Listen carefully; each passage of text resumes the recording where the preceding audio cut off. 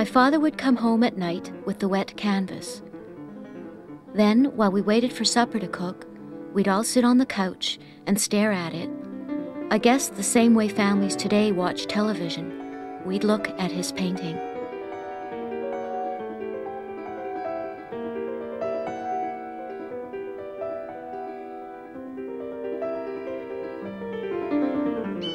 Nature was always my guide. My credo was that, first of all, a painting should show enthusiasm, then mood, then composition, form. I would see a beautiful scene and it would invoke feelings in me. It was those feelings I wanted to paint, rather than the scene itself.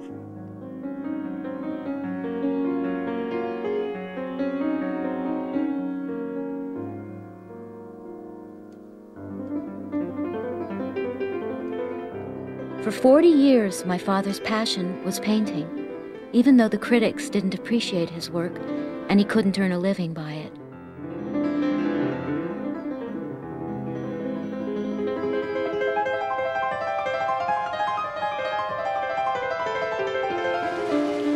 I had accumulated a great deal of experience in the 30s and 40s, and by the 50s, many secrets were becoming clear to me.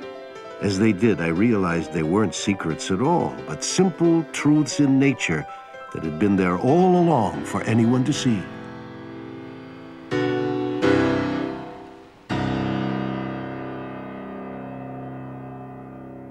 To me as a child, he was a kind of magician. He could transform an ordinary country village into a painting ablaze with color.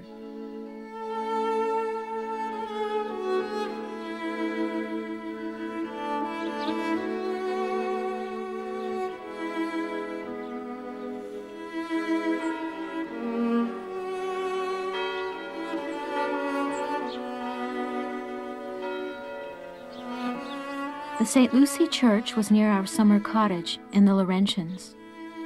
He painted this site over 30 times in all seasons and moods. He loved painting Quebec landscapes and houses. They reminded him of his childhood village.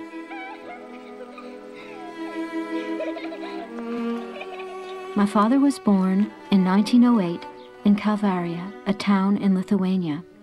His mother had given birth to 15 children.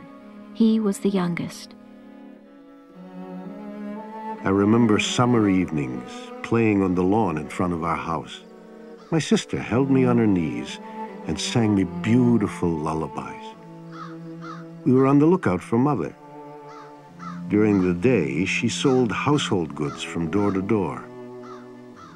In the evening, she trotted up the path with a basket full of food I loved rummaging through that basket to breathe in the delicious smells.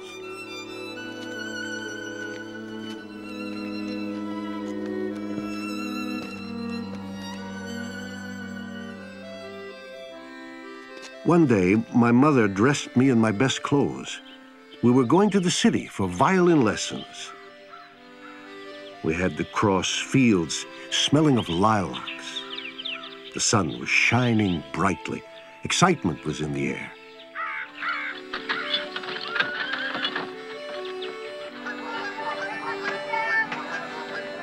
I loved music, and I was finally going to learn how to play.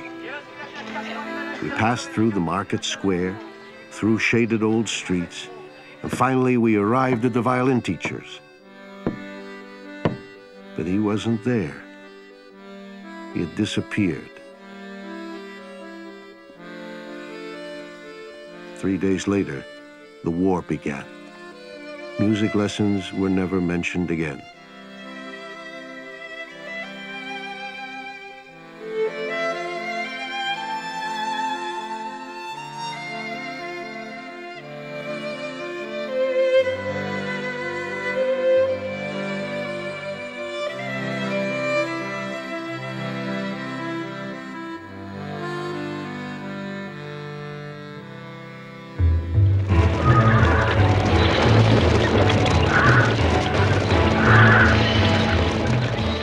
First World War had begun. It was 1914. The city smelled of death.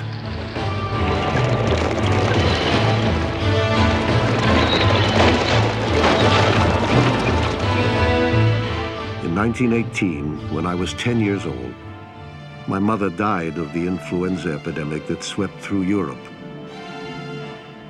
my father, who was a religious teacher and scholar of the Talmud, had no time nor interest in me. He left me completely on my own.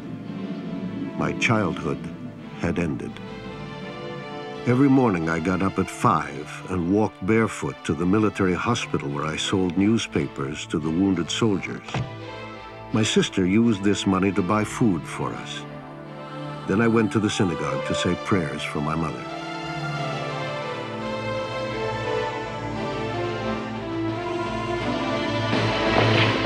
After the Germans retreated, the town changed hands between the Poles and the Lithuanians. Sometimes the Poles brought the prisoners of war to the main square. The townspeople found the Jewish prisoners and beat them to death. I ran back crying to my father. He said something I would hear again and again in my life. These are hard times for Jews. Then he warned me not to go outside so much. A few years later, in 1921, my father, my sister, and I emigrated to Montreal to join up with my brothers who had come a few years before. We had reached the new world.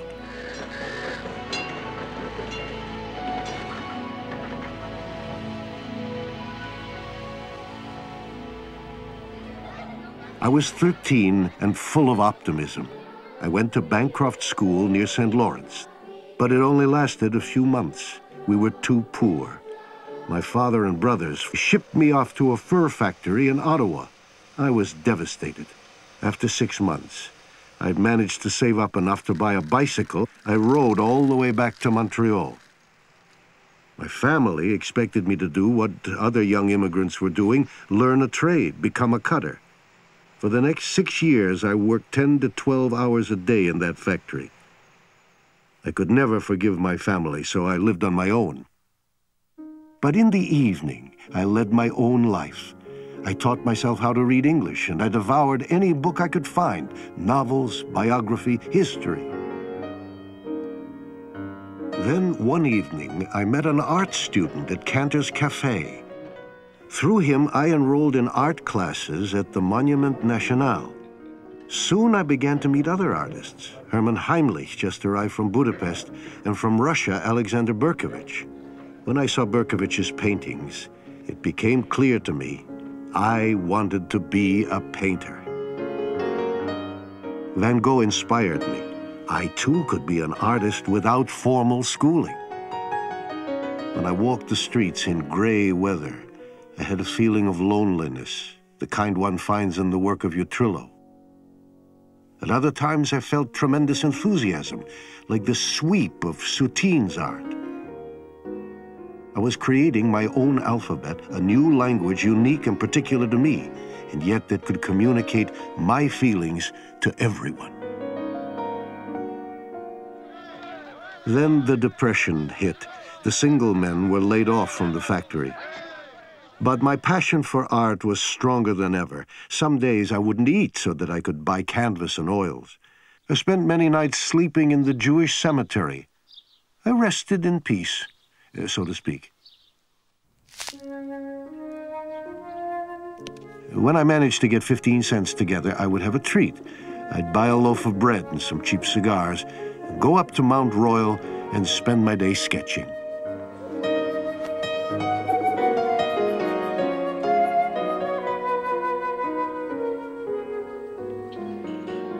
I spent a lot of time in the Mount Royal soup kitchen. At first, I was too shy and proud to go in, but my stomach got the better of me. I met some wonderful people there. We had our own club, our special table. I remember a Dr. Klinger, a PhD in Shakespeare and languages. Borenstein, you have the makings of a hobo. Team up with me. We will ride the rails. All you need is $5 to be a hobo. But I couldn't make it. I didn't even have the $5.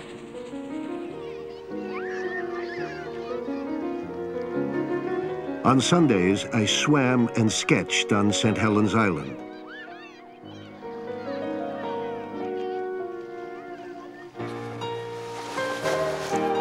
One evening as I was heading home, a hobo called out to me. Hey, you. You look like Jesus Christ. You're carrying your own cross. He'd mistaken my easel for a cross. When I finally arrived at the soup kitchen, too late for anything to eat, I thought of what that hobo had said. He was right. In some ways, my easel was my cross. I began exhibiting my work, and people said, uh, he has talent, but he's uncontrolled. But how can I control myself when everything around me is so beautiful?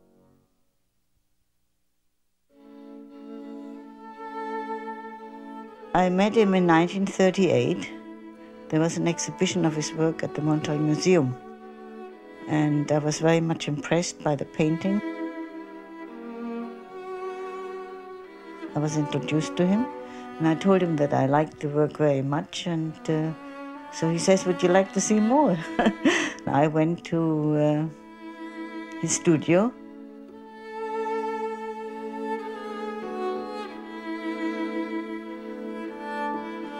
And uh, his paintings really excited me. It was very colorful and very um, spontaneous and very honest. There was a lot of honesty in this man.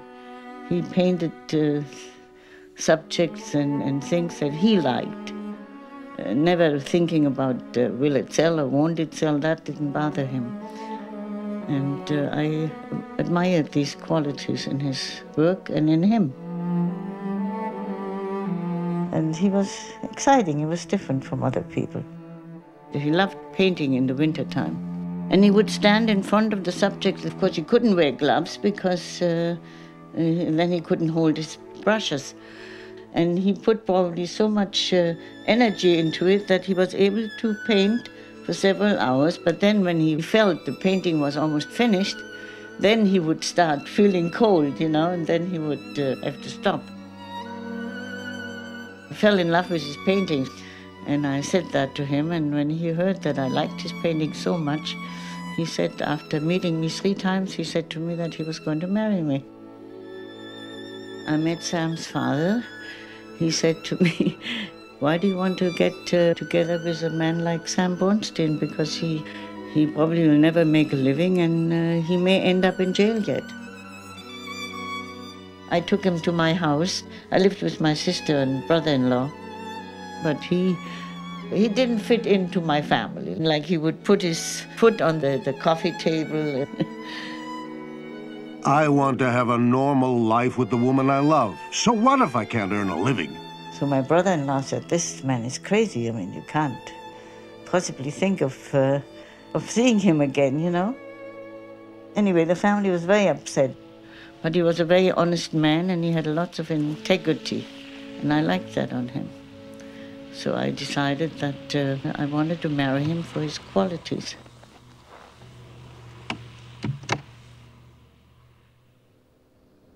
All his life, he had uh, dreamt about uh, spending time in Paris.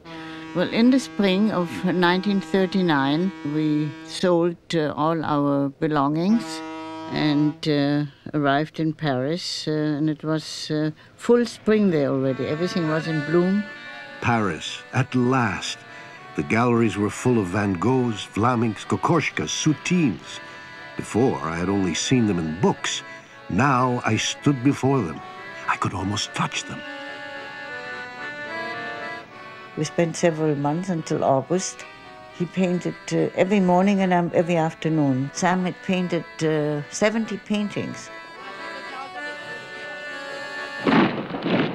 The war was already in progress, and uh, were, it was not safe to remain uh, in U Europe, and we decided we would return to Canada. Borenstein went to France and now exhibits 40 canvases. He didn't paint France. He painted Borenstein. I don't know if that was a compliment or if it was a criticism, but uh, he said he didn't. Most painters, when they go to Europe, their palette changes, but Sam painted uh, in his own way. I'd finally found someone who believed in me. My dear wife Judith earned the living working part-time in her sister's factory. I painted intensely every day. I stopped people on the street, asked them if I could do their portrait. Judith cooked them a meal as payment for sitting. He used to paint his father sometimes. And he was an old, old, old man. His father must have been 50 years old when he was born. And um, he always felt kind of very different from the rest of his family. He could never relate to his father because father was like, like in another world, and his mother died when he was little. So he just was like extra.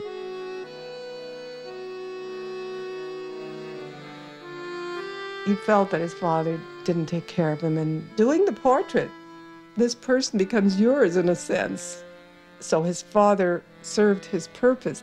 The artist always feels that if art can come out of it, then everything is vindicated.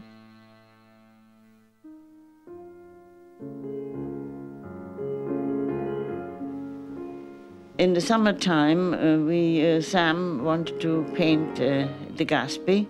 I was working at the time. Somebody had to make a living. I was working, and I had three weeks holiday, and I followed him. He spent three months there, and we met Ghitta Caiserman. And Ghitta only painted indoors. And uh, Sam said to her, Well, you've come all the way to Gaspé. Why don't you paint the scenery here? I had been brought up in a way to think of art as a social thing, and I thought, well, if I go inside my head or even inside a room, that's, that's the way I want to paint. And I, I saw this man looking out into the open sea with nothing on the horizon, and I thought, what? What an absolute contrast between me sitting poked up into this little room doing the lady peeling potatoes and, and Sam going out and looking outwards into nothingness, I thought. Of course, there was light and there was sky and there were a lot of other things, but I didn't understand that at the time. He thought I was crazy, and I sure thought he was crazy. Then, when we came back, we realized that I was pregnant and uh, couldn't go out to work anymore. So Sam had to try to make a living. So Dr. Stream gave us his old jalopy. We got quite a lot of paintings for that old car. And we rented a little store on Victoria Avenue to open an antique store. He had bought a number of things. But he had no uh, patience. Like he would go in in the morning and nobody would come the first hour or so. So he would close up the store and put a sign outside, be back in one hour. Then people used to phone me to the house and say, what happened? We're here in front of his store and the, the store is closed. So I said to the people, you better don't wait because he probably won't come back. So it was a complete uh, failure, this store. It lasted six months.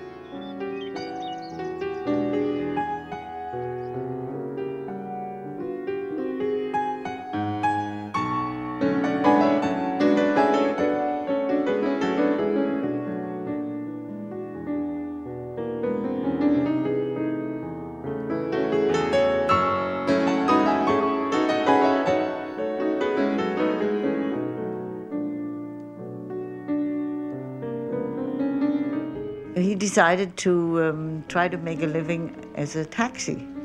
He drove for one year and he worked nights. In the daytime he painted and he took a few hours of sleep and then night he drove out. But it wasn't for him, he didn't like that. He um, decided to sell other artists' uh, paintings. He was very friendly with Goodrich Roberts, uh, Dr. A.Y. Jackson, uh, Lismer, Cosgrove. He was like the middleman. They gave him work and he would sell it to the galleries and make himself a 10 15% profit. And that's how he earned a living for us. I uh, remember when his first child was born, Norman, he was very, very happy.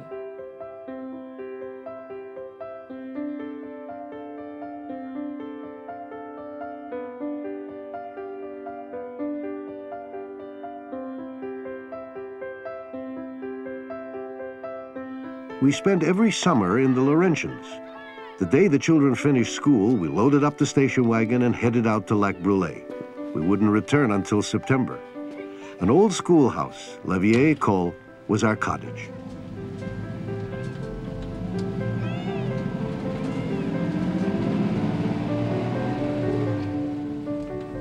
Driving up to our country house was always an adventure for us kids.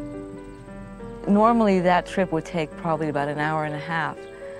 But with Daddy, you never knew how long. Sometimes it took three hours, sometimes four. We would stop and we would see a scene that he thought would be good to paint, and, and he'd have to look at it. And we would always stop to have a picnic and look at the clouds in the sky. He preferred to paint on gray days. He would tell us that too much sunlight washed out the color. When it was raining and he couldn't paint outdoors, he would ask either Joyce or me or Mummy to go to the abandoned hotel and pick wildflowers. Sam loved only genuine things. I loved the still lifes the richness of his colors, the strong ultramarines, the crimson reds, the blues conveyed a sensuality provoked by the wildflower and the great love you felt for those flowers. His summer studio was a chicken coop. I can remember posing for my portrait in there.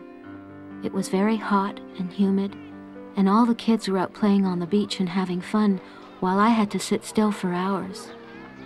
I'd stare at the colors on the floor that fell from his palette, and that way I could forget that I wanted to be somewhere else.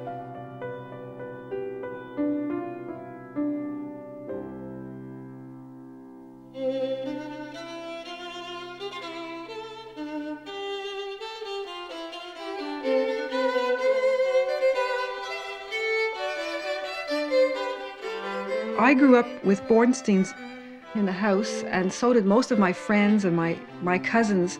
I would be about six years old, or eight years old, or even, you know, 10 and 11. There was a certain quality to these paintings that, that made us want to touch them. They were almost like, like, like a food. They were bumpy and they were thick. They, they were like, it was like strawberry jam and ice cream and blueberry jam. Whenever we would pass the paintings, little fingers would, would touch them. It was a great temptation.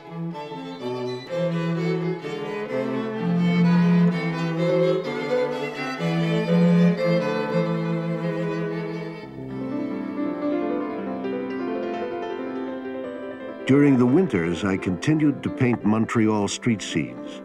And when money ran low, I would take a turn at dealing in antiques and paintings.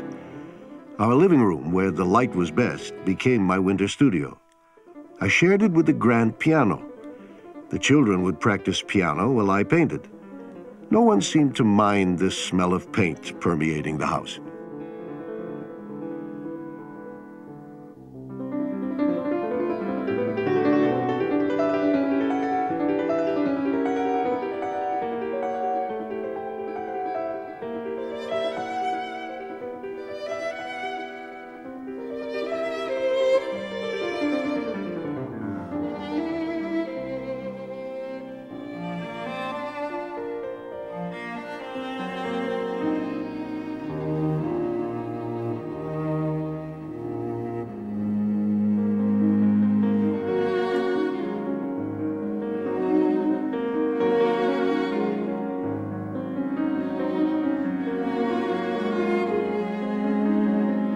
In the 50s, a Borenstein painting in most houses in Montreal really did violence to just about everything people owned.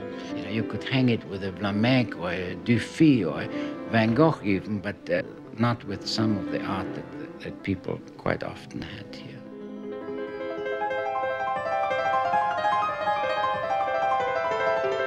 In 1961, he had a show at the Klinkhoff Gallery, and soon after at the Penthouse and West End galleries.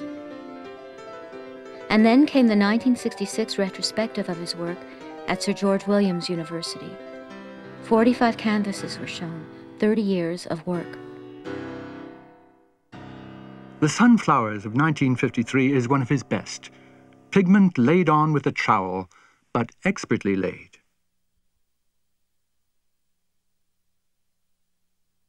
There's a kind of generosity. He uh, will apply color in such a way, thick colors. He will not uh, be miserly about using color. He would just slap it on and shape it and push it around and, until it falls into place, add, take off, and so on and so forth. You can see the whole action of painting, like in the New York action painters, but in a different way. Here, this action is not something in itself, it is brought towards a painting that has a subject and has a mood. I saw Sam painting very frequently. He painted rapid as almost a possessed man. I believe there was a fear that something very vital may escape him. And I also felt that there were certain elements in the paintings that were reaching far beyond the visual.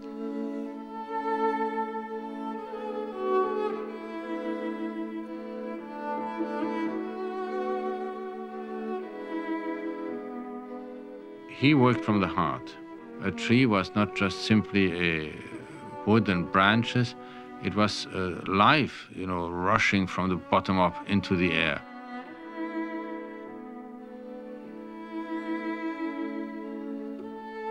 He had a great singleness of purpose. He wanted to be a painter, and nothing seemed to stand in his way. For some time, my father had been suffering from terrible back pains. After a year of tests, it was finally diagnosed as cancer. On December 20th, 1969, he died.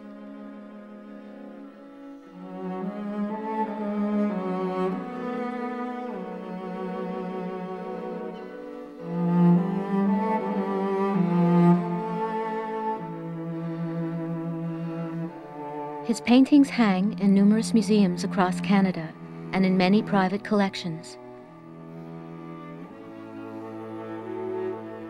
I remember him as a young man. He was a handsome young man. He used to wear a white suit and he really looked very nice. And uh, he, he enjoyed life. Like he, you know, he, he liked looking at pretty women and he liked talking and kidding around. I mean, uh, and he he loved beautiful things. Well, he was a wonderful storyteller, and he would, uh, when we, uh, many people invited him to their uh, gatherings at night, very often he would make up stories and say that uh, it happened to him, but only I knew that it really didn't. And he had everybody laughing, and uh, he kept the conversations going. And he would laugh and the, he the laughed. best audience for his Yeah. stories was him himself, and he, He would, would- laugh so hard that he would cry. Yeah. The thing that I remember the most was wherever we were, Daddy would look up into the sky and he'd say, Don't you see that little animal up there? Don't you see the way that. Yeah, that well, yeah, and we would watch them, yeah. how they changed and they turned.